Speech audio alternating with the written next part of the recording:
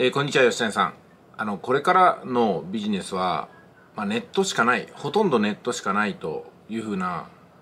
まあ、考えは私も同意するんですよ。でもこれなんかね今世の中の人に言っても伝わりにくいんで非常に分かりやすい例えをいつも用いることにしてるんですよ。それはですね例えて言えば100年前馬車が移動手段の主な商売でした。今は移動手段の商売といえばいろいろありますけども、まあ、シンプルに例えるために車にしときましょうか。今一生懸命馬車の商売をやりたいなとか馬車の商売を先代から引き継いだんで何とかして続けていこうと思って試行錯誤する。それもいいでしょう。馬車のビジネスが全くなくなったわけではありません。しかしビジネスにするならどうせなら車の方がリスク少なく学び多くチャンス多いんではないかなと思うんですよ。どうですかね？今の時代なんか移動手段をね商売にするときに馬車と車が選べるとして馬車の商売しようかなって思う人ってどのぐらいいますかね？と同じようなことがビジネスをリアルでするのかネットでするのかっていうことに例えられると思うんですよ。だってリアルでしようと思ったらまずね莫大な投資が必要なんですよ。最初の資本金が。ネットはほぼタダですよ。ね。高校生でも今スマホを持ってネット閲覧したりブログ投稿してますよね。っていうことは高校生のお小遣い程度の資本で富が築けるんですよね。それこそねそうですね。まあ私がね YouTube をたくさん作ってそこから収入を得てることをなんか YouTube の動画を作る工場を経営してるっていうふうに考えていただきたいんですよ。リアルな工場っていうのはまずは土地を借りてその上に建物を建てて工場専用の設備をぶっ立ててですね。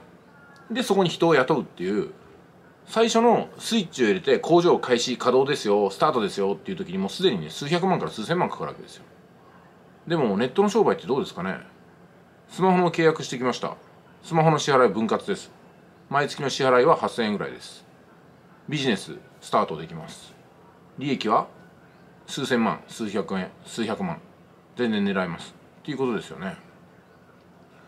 だからねそのネットしかないと。私は思いますしネット以外の選択肢はないんですけどもなぜかねネットを選ばずに馬車の商売を一生懸命やろうとしている人がまだまだ多いってことなんでしょうね。ついでに情報のことなんですけども情報もね馬車で乗ってる人からの情報を聞くのか。これがつまりオールドメディアテレビとか雑誌とか新聞の情報を取ってる人の話です。でもネットで世界中の情報にアクセスして嘘も本当もあるけれどもそれをキュレーションして最も合理性があるなと思えるものを取り入れていくのがネットでの情報収集なんですよね。あのネットの情報ってのは怪しいものがいっぱいあるよって言いますけどもそれはあくまでもネットを使う人がどこにアクセスしているかっていうその人の問題なんですよ。テレビでもねテレビの情報は嘘ばっかりと言えなくもないんですよ。なぜならバラエティ番組とかねドラマとか全部作り物じゃないですかね。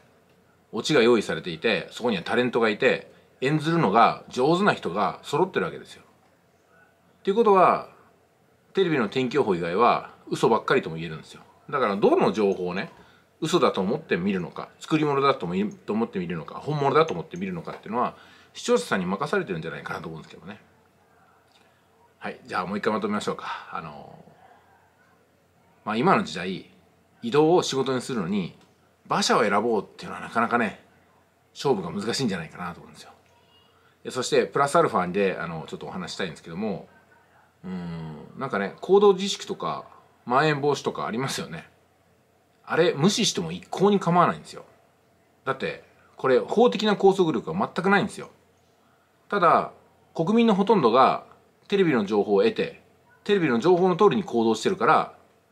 自由に暮らしたい人がなんとなくね居心地悪くってそれに合わせてるっていうだけですからね。じゃあ県をまたいでの移動とか、うん、それからもし可能だったら海外への旅行とかね。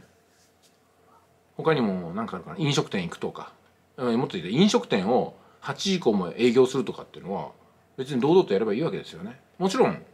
こんなこと言ってもできない事情があるのは分かりますよ。心理的にも。世間的にもね。でも法的にどうなんですかって言ったら法的拘束力が全くないと。ただ雰囲気を蔓延させていて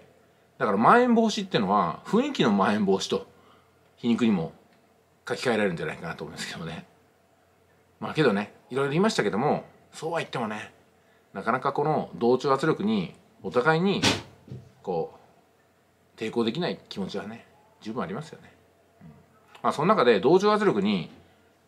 組みしなくてもいいビジネスの形ライフスタイルがあるとしたらネットを中心とした暮らしじゃないかなと。すでにネットが本物で